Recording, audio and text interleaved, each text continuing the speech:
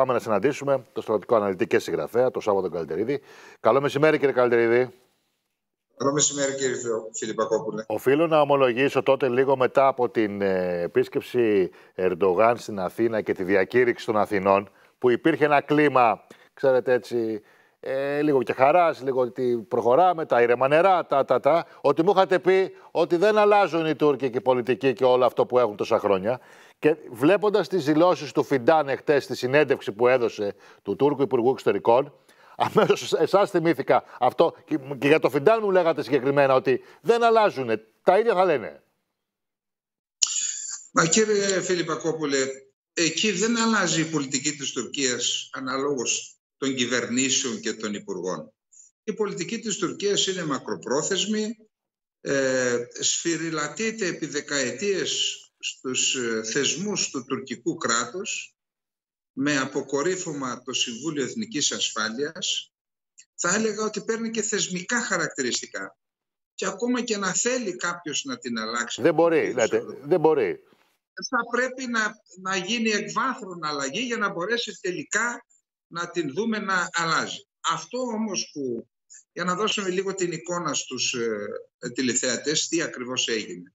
Ξέρετε, ο Ερντογάν με την κίνησή του για τους S400, που ήταν μια κίνηση που κριτικάρεται από, ε, και από θεσμικούς παράγοντες και από ε, συνταξιούχους πρέσβεις, ότι ήταν μια κίνηση που έλαβε χωρίς προηγουμένως να έχει πάρει προτάσεις από τους θεσμικούς, παρά, από τους θεσμικούς ναι. παράγοντες. Δηλαδή ήταν μια προσωπική απόφαση που την πήρε με τον Πούτιν. Και αυτό το πληρώνει η Τουρκία. Δηλαδή βρέθηκε η Τουρκία σε ένα πολύ σοβαρό αδιέξοδο όταν είδε να παραμένει, όταν απευλήθη από το πρόγραμμα των F-35, είδε να παραμένει αυτή ε, με αεροσκάφη στην πολεμική αεροπορία τρίτης γενιάς και η Ελλάδα να κάνει ένα άλμα είτε με την παραγγελία της κυβέρνησης ΣΥΡΙΖΑ ΑΝΕΛ με τα 83 F-16 και Viper, είτε με την απόφαση ε, της κυβέρνησης Μητσοτάκη για τα 24 Ραφάλ να περνάει στην, στο κλαμπ των χωρών που έχουν αεροσκάφη 4 συν γενιάς, 4,5 γενιάς είναι τα αεροσκάφη αυτά, ανατράπηκε η ισορροπία στο Αιγαίο, απευθύνθηκε η Τουρκία σε άλλους χώρους πλην των Ηνωμένων Πολιτειών να πάρει αεροσκάφη, δεν μπόρεσε να πάρει και είπα πλην των Ηνωμένων Πολιτειών γιατί εντωμεταξύ όσο η Ελλάδα ενισχυόταν ε, στον τομέα της πολεμικής αεροπορίας, το ίδιο διάστημα κάποιες δυνάμεις και όχι μόνο της ελληνικής ομογένειας κινούνταν εναντίον της Τουρκίας στις Ηνωμένες Πολιτείες να μην πάρει F-16 Viper. Άρα η Τουρκία έφτασε σε ένα αδιέξοδο. Δεν μπόρεσε να πάρει τα ε, Eurofighter. Εάν πήγαινε στα Σουχόη 35 ή 57 ε, ε, αντιλήφθηκε ο Ερντογάν ότι το χάσμα με τις ΗΠΑ θα διευρυνθεί αλλά θα χρειαστούν και δεκάδες δισεκατομμύρια να αλλάξει το οπλοστάσιο και έτσι η μοναδική διέξοδος ήταν πάλι τα F-16. Για να πάρει όμως τα F-16 έπρεπε να φύγει το εμπόδιο Ελλάδα ή ο ελληνικός παράγοντας της ΕΠΑ. Και έτσι πήγαμε υποχρεωτικά για την Τουρκία, υποχρεωτικά στην, στην πάυση των πτήσεων στο Αιγαίο που σημαίνει παραβιάσεις και όλα αυτά. Αυτό λοιπόν εντάχθηκε σε ένα ευρύτερο πακέτο που αποκορυφώθηκε στην διακήρυξη των Αθηνών.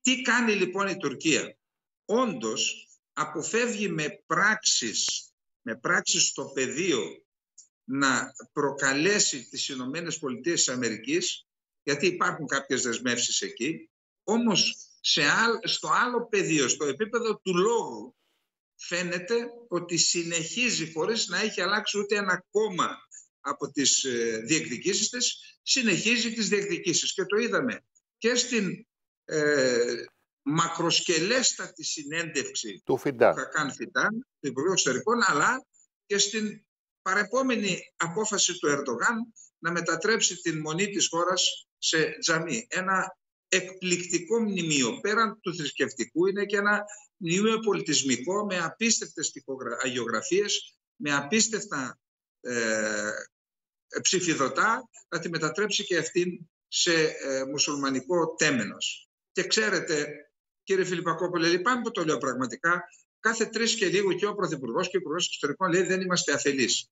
Δηλαδή, αν ήμασταν αφελείς, τι άλλο θα μας συνέβαινε; Ναι, καταλαβαίνω πώς το λέτε. Καταλαβαίνω πώς το λέτε, αλλά να ρωτήσω κάτι που εσείς ενδεχομένως δεν το ξέρετε, γιατί ασχολείστε με τα θέματα αυτά.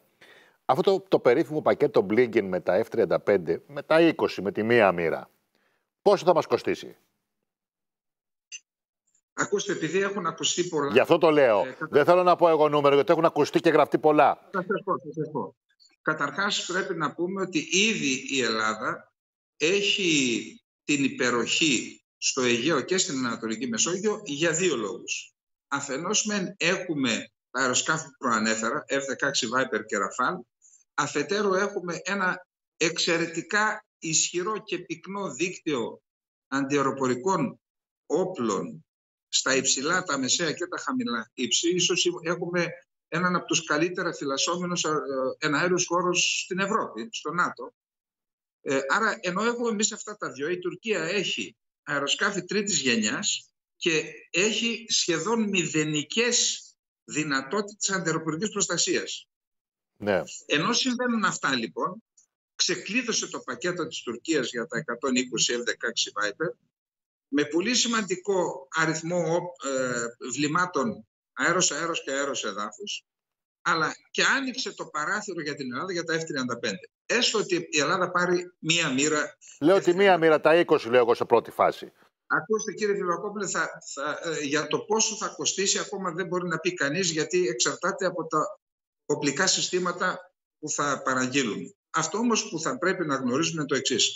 Τι έχω διαβάσει, έχω μιλήσει με αεροπόρους, γνωρίζω τα προβλήματα που έχει το συγκεκριμένο αεροσκάφος και στη διαθεσιμότητα και έχει κάποια προβλήματα. Και πόσο ακριβό είναι, κύριε, κύριε Καλτερίδη, και πόσο ακριβό είναι.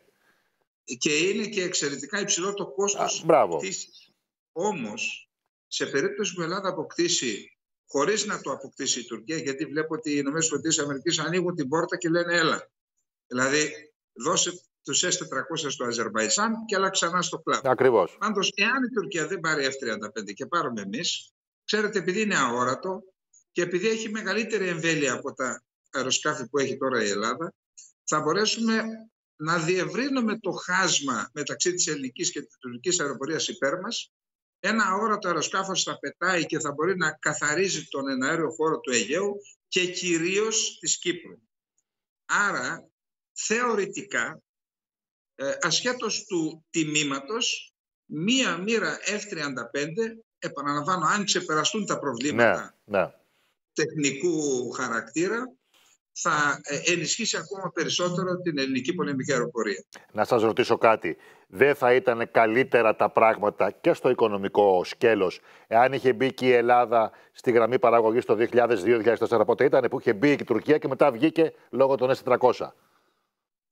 Ξέρετε, η Ελλάδα ξεκίνησε το 2000, έμπαινε με την Τουρκία μαζί ταυτόχρονα. Ναι, μπράβο, είναι τότε, τότε ναι. Αλλά ε, τότε το δίδυμο Σιμίτη Παπαντονίου είχε έναν έρωτα με τα Eurofighter και το Βερολίνο.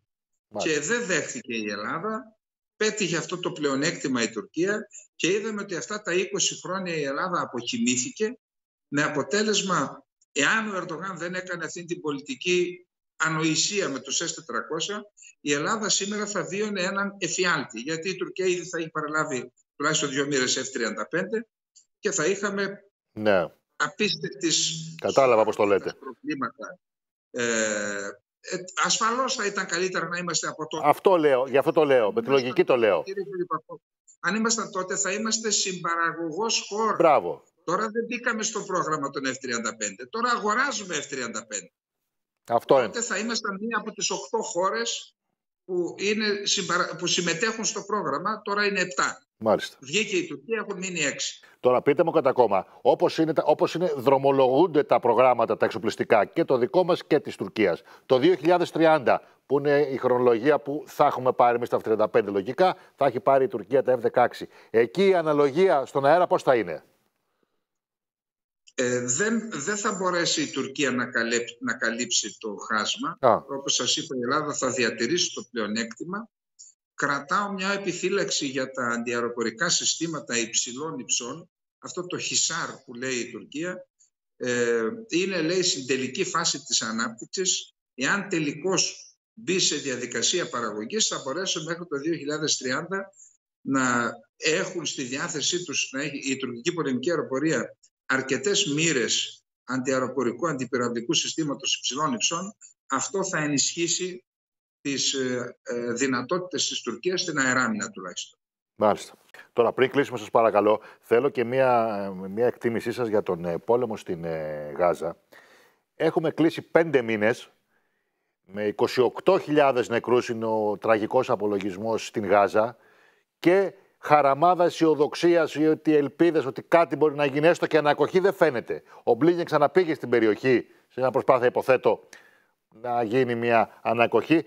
Πώς το βλέπετε να εξελίσσεται αυτό, Έχουμε και την ιστορία με την Ερυθρά Θάλασσα και με τα προβλήματα τεράστια στην ε, εμπορική διέλευση των πλοίων. Ε, ακούστε, η, η, το Ισραήλ δεν ιτήθηκε, αλλά δεν μπόρεσε να κερδίσει τον πόλεμο. Δηλαδή η Χαμάς κρατάει ένα μέρος των δυνάμεών της, κανείς δεν ξέρει ποιο ακριβώς. Το Ισραήλ διατείνεται ότι έχει καταστρέψει πάνω από 50%. Η εκτίμησή μου είναι ότι έχει καταστρέψει κάτω από το 50% γιατί κυρίως υπάρχει το ζήτημα των σειράγκων. Οπότε ε, η Χαμάς ακριβώς επειδή διατηρεί κάποιες δυνάμεις ε, ε, στο τραπέζι των διαπραγματεύσεων για την απελευθέρωση των ομήρων και για την εκεχηρία ε, ακόμα αντιστέκεται. Θέλει να πετύχει μια συμφωνία που είναι προς το συμφέρον της. Δεν φαίνεται πάντως να τελειώνει ο πόλεμος. Θεωρώ ότι μπαίνει σε κρίσιμη φάση. Γιατί, Γιατί ο Ισραηλινός στρατός ζήτησε την εκένωση πρώτα της Βόρειας Γάζας, μετά της Κεντρικής, μετά της νότιο-δυτικής, της Χάν Αυτό είχε ως αποτέλεσμα παραπάνω από το 50% του πληθυσμού της Γάζας που εκτοπίστηκε να έχει συγκεντρωθεί στη, στην ε, Ράφα εκεί θα γίνει και η τελική φάση. Και τώρα τους λένε φύγετε και από τη Ράφα. Αντιλαμβάνεστε ότι εκεί θα υπάρχει ένα μείζονο σημασίας ανθρωπιστικό ε, βέβαια, ε, βέβαια. Πέραν, του ότι θα υπάρχει πιθανότατα και μία ένταση στις σχέσεις Αιγύπτου και Ισραήλ. Ε, πάντως ο πόλεμος δεν φαίνεται να τελειώνει. Δεν φαίνεται να τελειώνει. Το Ισραήλ είναι αποφασισμένο ε, εκτιμώ ότι έχουμε πολλές πιθανότητες να έχουμε μια συμφωνία για εκεχηρία έξι εβδομάδων σε Α. πρώτη φάση. Υπάρχουν άλλες δύο φάσεις τις οποίες δεν μας τις αποκαλύπτουν αλλά ε, πρέπει να θεωρήσουμε δεδομένο ότι το Ισραήλ θα επιμείνει στα ζητήματα ασφάλειας που προέρχονται από τη Γάζα. Πάντως, κύριε Φιλιππακόπουλε, ας κρατήσουμε το εξής. Υπάρχουν δημοσιεύματα που λένε ότι ο Μπάιντεν ε, καθίβρισε σκεός τον Νετανιάχου σε πρόσφατη τηλεφωνική επικοινωνία. Υπάρχει σοβαρό πρόβλημα στις σχέσεις του Ισραήλ με τις Ηνωμένες Πολιτείες της Αμερικής ακριβώς επειδή οι Ηνωμένες Πολιτείες της Αμερικής πλέον μαζί με τη Βρετανία, για πρώτη φορά έχει γίνει αυτό, επιμένουν στην παραμονή του, του πληθυσμού της Γάζας, των κατοίκων της Γάζας στον τόπο τους και αμέσως μετά το τέλος του πολέμου στην ίδρυση Παλαιστινιακού κράτους στα όρια του 1967. Αυτό είναι μια πολιτική θέση που δυσαρεστεί το Ισραήλ και γι' αυτό πιστεύω ότι είχαμε Μάλιστα. σύγκρουση μεταξύ των ΗΠΑ και του Ισραήλ. Κύριε Καλτιαρίδη, ευχαριστώ πάρα πολύ για τη συζήτηση και την ανάλυση. Να είστε καλά. Καλό μεσημέρι. Χάρηκα που τα είπαμε.